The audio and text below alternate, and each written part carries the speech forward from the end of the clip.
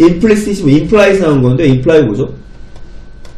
암시하다. 그러니까 암시하는 암시적인 암시 함축적인 감정적 콘테이전은 반면에 콘테이전 좀 이따 볼게. 반면에 반면에 그것은 덜 의식적이고 그리고 발생하는데 더 자동적으로 발생하는 거죠. 그 앞에는 뭔가 대조방식을 좀 얘기하는 거 있지? 그치? 네. 그 다음 들어가겠습니다. 계속 들어볼게요. 음, 잠깐. 감정 전염. 네. 다시. 감정 전염은 그것은 뭐일 수 있어? 아까 임플리스it이 뭐였죠? 암시. 암시적인 내재적인 explicit은 어 그, 밖으로 드러나는 게 뭐라고 했니? 내재, 내재적인의 반대말이 뭐죠? 내재적인 반대말이 뭐지?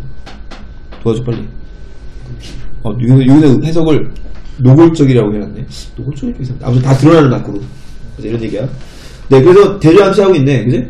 네 그래서 하나 나오죠? 노골적이 좀 이상한데 노골적인 얘기 나왔으니까 노골적인 할게 노골적인 감정. 전염은 언제냐면 누 어떨 때야? 누군가가 시도할 때죠. 뭘, 뭘 시도할 때야? deliberately 의도적으로 다른 사람을 감염시키려고 할 때지. 뭘 가지고 그들의 어, 무드.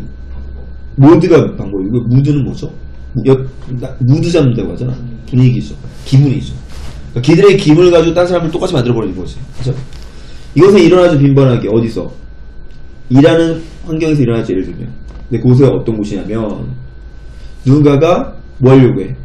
동기부여하려고 하죠. 팀을 뭘 가지고? infection. infect 나왔잖아. 그죠? 가- 전염시키는 어떤 뭐에 뭘 가지고 enthusiasm enthusiasm이 뭐죠? 아니 당황하지 말고 왜 이래 그러지 마. 어? 뭐지? 열. 열정을 가지고 있어 맞죠? 그러니까 이런 엄청 감정이 막 전달되는 것이 밖으로 다 드러나는 거지 네또 계속 그 얘기 나오네 네 다음에 노골적인 겉으로 드러나는 감정적 전염은 또한 발생하도 모함으로써 다른 사람에게 줌으로써 뭘 줌으로써 어떤 어떤 그 트윗이나 보상을 줌으로써 뭐하기 위해 만들기 위해 그들 어떻게 느끼게 만들기 위해 긍정적으로 디스포스 되었다고 만들기 위해 뭘 향해? 너를 향해. 맞아? 근데 이것은 하나의 이유죠. 어떤 이유야? 제조업자들이 뭐하는 아마도 주는 이유죠. 뭘, 주, 뭘 주는 이유야? 무료 선물을 주는 이유죠. 뭐하기 위해서 주는 거야? 유혹하기 위해서 주는 거죠. 우리가 뭐하도록 그들의 제품을 사도록 하죠 디스포즈가 뭐죠? 원래 디스포즈가 뭐니? 원래 뜻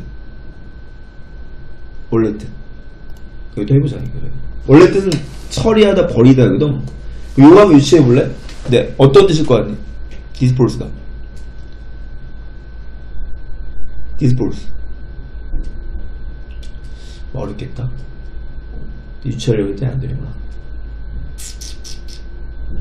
디스포즈가 무슨 말로 되냐면요 처리하다 있죠 그 배치하다라는 표현도 있어요 그래서 널 향해서 배치되었단 말은 뭐 긍정적으로 배치됐단 말은 뭐냐면요 널 향해서 호감을 갖고 있다는 이런 식으로 해- 의역하는 것 같아 지금 여기가 알지? 어, 너무 어렵고 여기 넘어가자 넘어가면 돼 이건 알지?